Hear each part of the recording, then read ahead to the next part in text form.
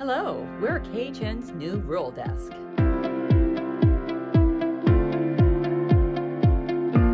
We're from South Dakota, Nevada, Iowa, Minnesota, Michigan, and Washington, D.C. We cover access to care, inequality, and the work people are doing to help rural America be healthy. We want to hear from you. So reach out with your story ideas and tips. And let us know what's happening in your community.